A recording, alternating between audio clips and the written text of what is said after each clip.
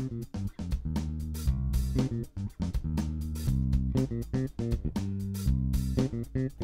two worked on a movie um, that hasn't yet come out, but you had a transformational kind of experience through it all.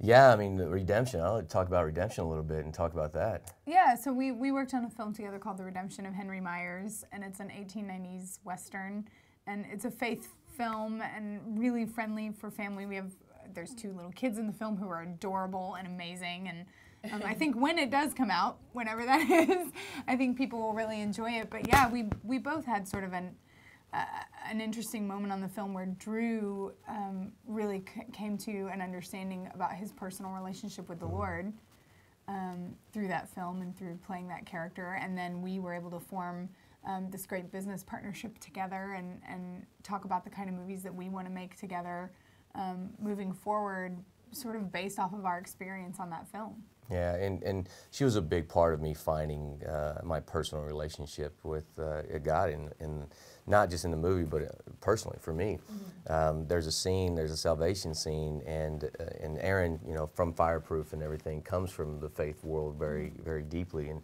very successful within it in her own right. Uh, and I come more from the mainstream side. I believed, but I just didn't didn't didn't do the face side of it. And uh, we were sitting by the fire one night, and I, I looked at her. I said, "I got to ask you a question." I said, "I'm confused about this this scene. It's a salvation scene. It's supposed to be so truthful and raw and personal." I said, "How do you find the truth in something like that when it's something at somebody else's words?" And she said the most simplest thing that anybody could say to me. She goes, "Just find the truth. Just do what you said." You know, and and that made me question, could I do it? Yeah. And so she saw, started the ball, and, and I started questioning if I could do it or not. And I went up to my room and I rewrote it. And next day I showed up and asked the directors and producer if I could do it this way. And they said, let's try it. And um, I did it for me. I didn't do it for anybody else. I did it for me. And it was the guidance that, uh, that Erin gave me and from her personal experience of life that allowed me the freedom to do it. And, and Redemption is a very special film for me, mm-hmm. you know, and, and for that. Well, we gave it a pretty positive review. But the other one that you were just in was The Ultimate Life.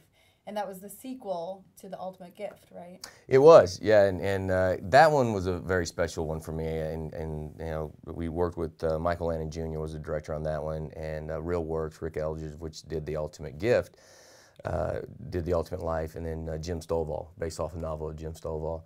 And you know, I got to play the lead in it. And it was a character that I related to very well.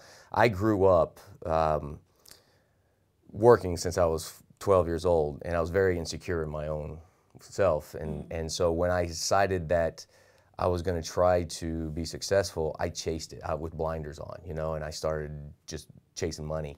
And when I finally got to the point where I made money, I was unhappy.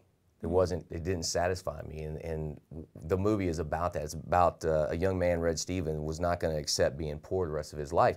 He grew up chasing money. He fell in love. He had children. Everything that he wanted in life was there, but he pushed him to the side as he was chasing money. When he finally got to his goal, making a billion dollars, uh, he looked up and no one was there. Yeah. And that made him realize that the the, the it's okay to have a dream. It's okay to chase something but do not forget what's the most important thing around you is camaraderie and, and support.